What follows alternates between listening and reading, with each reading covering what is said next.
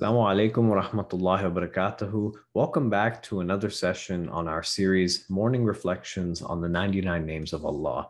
For today's session, we covered the names Al Razzaq, Al Wahhab, Ash Shakur, these names that concern the aspects of provision, of bestowing of gifts, as well as of appreciation and gratefulness. So, inshallah, to begin with provision one of our primary preoccupations as human beings, just living in the society, living in this world, is things such as paying rent, putting food on the table, paying our taxes, paying our education bills or our student loan bills, uh, paying for our medical expenses or our medical bills. These are things which are oftentimes at the forefront of our concern because these are things that uh, we worry about will, will, whether we'll uh, be able to continue on, uh, you know, and see the next day, you know, without having to worry about these things. And uh, oftentimes, as I mentioned, they, they these things bring us inherently to a state of worry that we worry about these things and and rightfully so you know not to not to minimize that by any means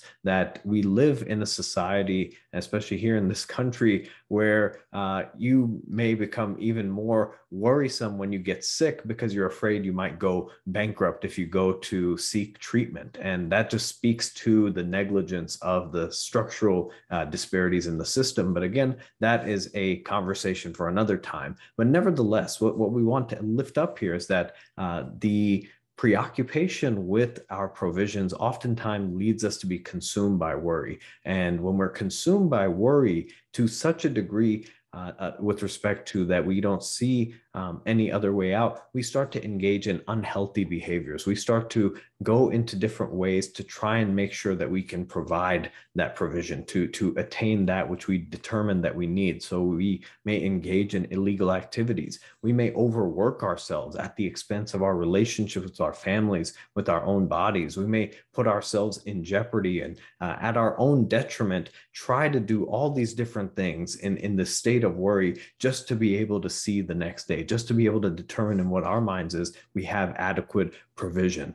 Um, and in this state of worry, in this state of just pandemonium where we're just running in circles and doing all these different things, uh, we oftentimes have then forgotten that Allah is not just Ar-Rahman Ar-Rahim, Allah is also Ar-Razzaq. Allah is the one who, at the end of the day, provides and has written the provision out for each of us with respect to what we will have and what we won't have in our lives. And so, rizq is this concept of provision. And oftentimes we think of rizq as just that which is material, which we can consume. It's, it's wealth, it's money, it's food, but actually rizq is all kinds of benefits. It's both material as well as that which is uh, immaterial, that which is uh, spiritual or moral. It is the provision of the heart that's given when the heart uh, it is hurting and, and, and ached. It is the emotional strength given in times of difficulty. It is the sustenance of the soul provided in difficult moments. It is all of these things,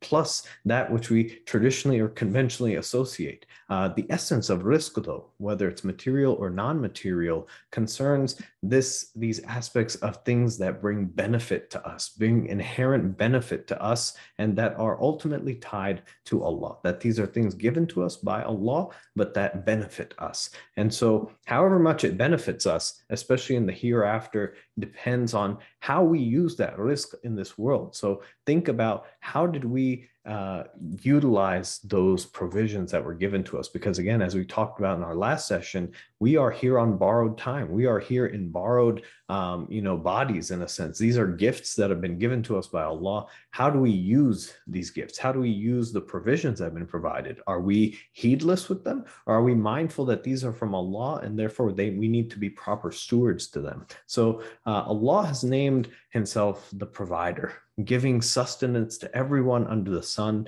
and anything under the sun. That uh, not is just one time but is continual and is for the human the non-human the muslim the non-muslim uh, the created world the seen world the unseen world and so on and so forth. And so you have food for humans you have rain for plants you have sunshine that's given for all of creation you have all these different things that are forms of provision Rizq as well is something that shouldn't make us lazy. Let we've been provided provision. All right, I'm just gonna sit back, relax, and enjoy my provision, enjoy my rizq and not have to worry about it. But rizq is something that inherently calls us to also strive. It may seem kind of an odd concept, but think of it like this: uh, in the story of Hajar. Hajar, uh, the mother of Ismail, uh, the mother of uh, Ismail alayhi salam, um, the wife of Ibrahim alayhi salam, who, when left in the desert by Ibrahim alayhi salam with her baby Ismail alayhi salam, uh, you know, had, had asked Ibrahim alayhi salam, is this something that Allah has commanded? And he responded in the affirmative. She said, then Allah will not abandon us and Allah will provide for us.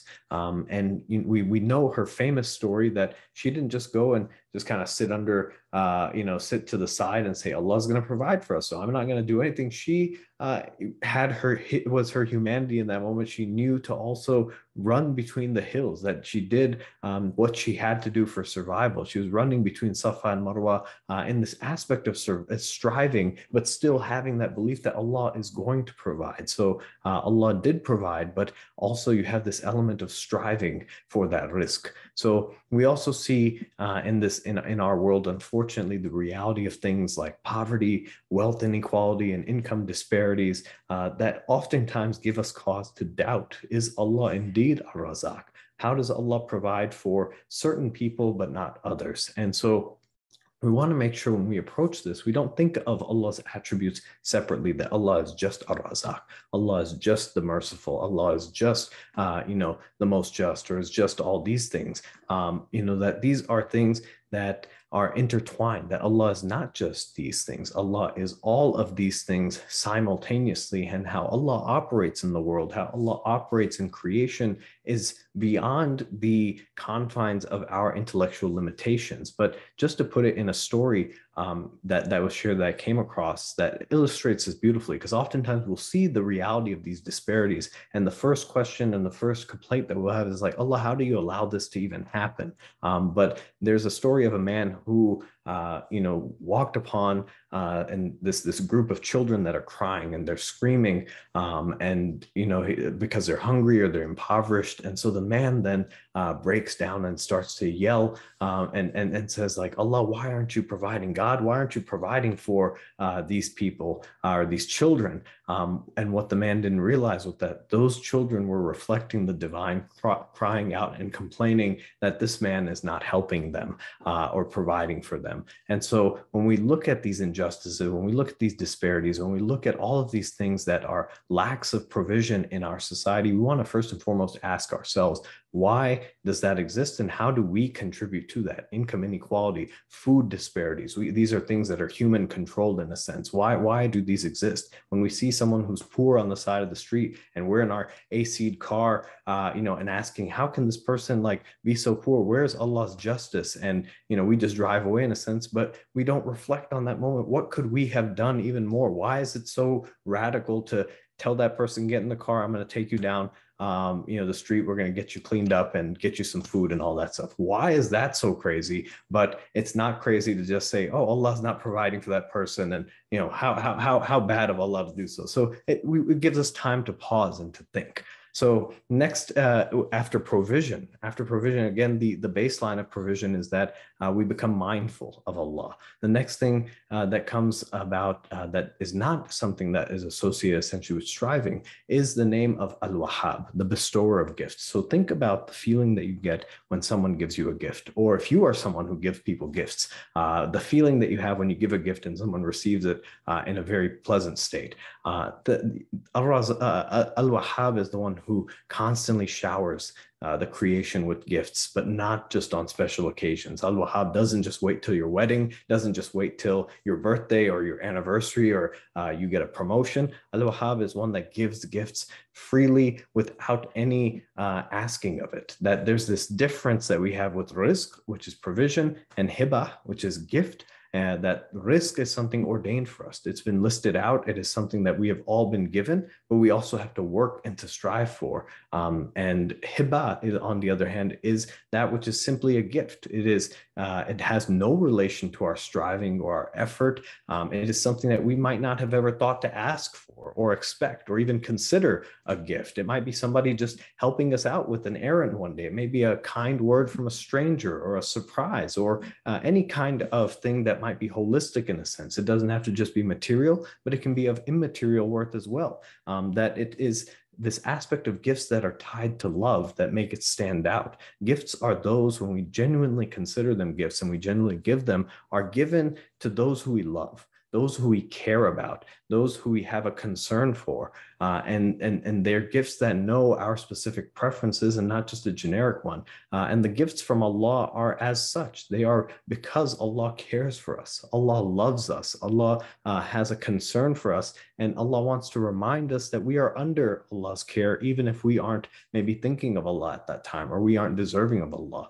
Um, and the Prophet relates uh, relates a tradition, a tradition related to the Prophet that the heart is inclined to love those that do good to it. So there's this element uh, just psychologically and socially of being given gifts that uh, that draws the heart nearer. So when we not just see these gifts, you know, we may receive these gifts in so many different ways or shapes or form. It's not a traditional, you know, box with a bow on it, and this is a gift from Allah, and you know exactly where it's from. It's in the the all you know the mundane of life. It's in our uh, current operation of life where we may associate that gift to something else. But when we want to take a step back and we want to be more mindful, when we're more cognizant and uh, mindful of Allah and conscious of Allah, we realize that everything that we've been given, everything that we are given, especially these things that make us happy, that make our hearts warm, are from Allah. So when we re- realize that, our hearts become attached to Allah, not attached to the gift or attached to the, the medium that has brought the gift, but attached to the one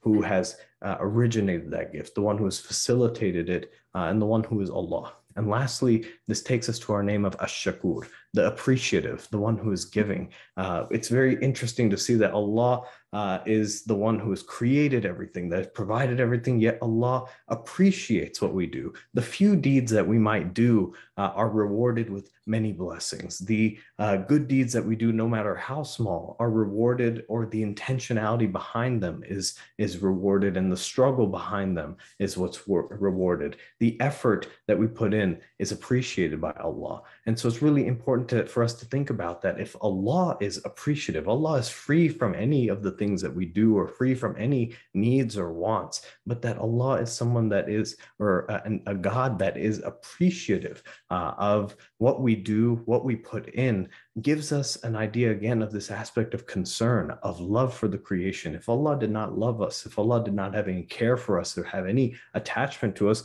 what concern what what what benefit would allah have of being appreciative of the things that we do? And and like i said the the the the, the prayers that we do the fasts that we do in this ramadan uh, all of these things that allah necessarily doesn't have a need for but allah is appreciative that we do it because as servants of allah we want to try and strive for what allah has created us for and what we uh, want to live into with respect to our purpose. And as we close out today want to think about how do we live with these names? How do we increase our provision? How do we increase our appreciation? How do we increase uh, the acknowledgement of gifts or the bestowing of gifts? And so all of these things are intertwined in a sense. At the root of them, there is this aspect of God consciousness. We need to be aware that Allah is the one who has provided all these things, whether it's things for our survival, whether it's just the things that warm our heart, um, and that Allah is the one who uh, not just is appreciative, but we should be appreciative as well. That all of the attributes that Allah has uh, has, that we should try to reflect them in some way, shape, or form. When Allah bestows a provision on us, we too should help provide for the people around us. We too should be using that provision to help uh, the community around us. When Allah is Al Wahhab and giving us gifts, we should be giving gifts to others as well. When Allah is appreciative and Ash Shakur, we should also uh, be Ash Shakur, we should also be appreciative in this aspect, in, in the in, in this attribute in a sense and, and to be appreciative uh, in this aspect. And so um, we reflect those as much as we can, even though Allah is these eternal, we, we can still try to, uh, you know, utilize them and transform ourselves to, to be even better human beings. And so uh, when we take away these names, when we, when we incorporate these names, we want to be people who are grateful. We want to give thanks for that which is given, whether gifts or provisions. And more than anything, we want to see that uh, and realize that Allah is behind all of this, behind those things which we need for survival, behind those things which are given to us